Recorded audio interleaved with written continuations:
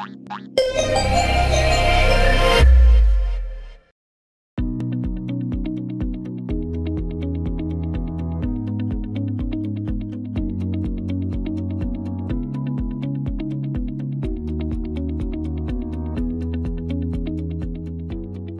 forma de reconèixer a una personalitat com Tomàs Vives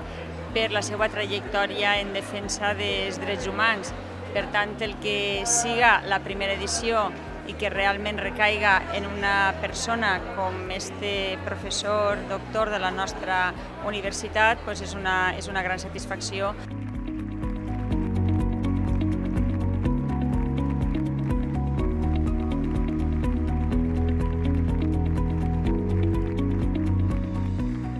Avui és la primera edició de l'entrega d'estos premis de l'Institut de Drets Humans a més a més, en un aniversari també de la Facultat de Dret, perquè són els 520 anys, igual que la Universitat de València, perquè varen ser els estudis de lleis fundacionals en la universitat, en la creació de la Universitat de València. Per tant, bé, també coincidís l'any passat el 70 aniversari de la creació dels drets humans, en guany 520 anys de la Facultat de Dret i 520 anys de la Universitat de València, un institut que té una llarga tradició en recerca, en importants projectes a nivell internacional sobre la necessitat necessitat de, dels drets humans.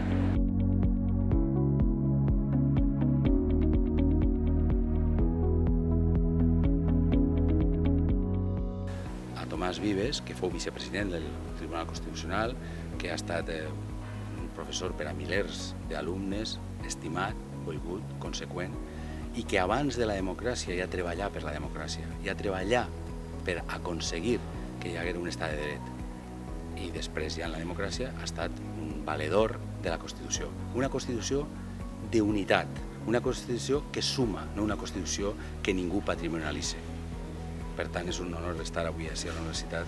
participant en aquest homenatge a una persona tan valuosa com Tomás Vives. Eh, bueno, el Instituto de Derechos Humanos es un instituto científico de la Universidad de Valencia eh, en el que son miembros profesores de distintas disciplinas y bueno, la idea de, la creación de estos premios, de los premios Jering, es precisamente la de intentar eh, dar a conocer un poco más las actividades que desarrolla el, el instituto, normalmente de investigación, lógicamente. Universitat de València.